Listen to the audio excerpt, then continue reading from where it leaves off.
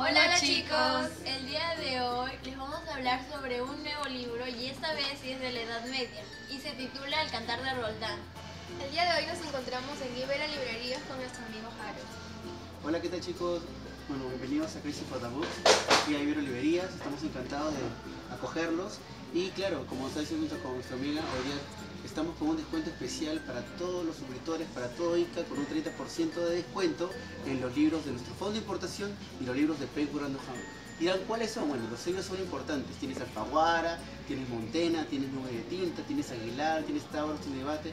Vengan y nosotros estamos para atenderlos. El Cantar de Roldán es un poema épico que consta de 4.002 versos, distribuidos en 291 estrofas. Este fue escrito a finales del siglo XI en un francés antiguo. Este tal vez es el cantar de gesta más antiguo escrito en una lengua romance en Europa. Eh, la obra relata hechos históricos un poco transformados.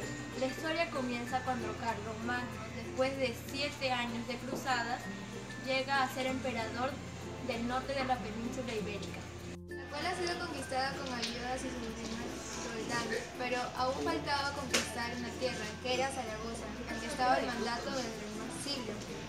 El rey Marsilio recibe una propuesta de paz para evitar la guerra, y el tratado sale bien. Roldán propone a su padrastro para que sea el nuevo embajador de esta nueva tierra. Pero su padrastro cree que lo está mandando a su muerte. Eh, por lo cual él decide iniciar un plan de venganza en el que incita a los moros a estar en contra de Roldán y hacerlo responsable del hostigamiento. Don sugiere a Marsilio que comprometa a Carlomagno a pedirle lo que sea. Él desea que las tropas se retiren para así poder atacar por la retaguardia francesa. Eh, para así poder derrotar a Roldán y sus 12 pares de Francia. Al final, Carlomagno vuelve a Francia y deja a cargo a su ejército a Roldán. Este libro fue atribuido a un monje normado llamado Tirolo, donde su nombre aparece en el último verso. Queda claro el significado del verbo declinar, pues en este verso puede significar componer o transcribir. Esta obra fue escrita en 1179 aproximadamente, con sus versos en decasílabas y sus estrofas eh, de desigualdad, llamadas tiradas.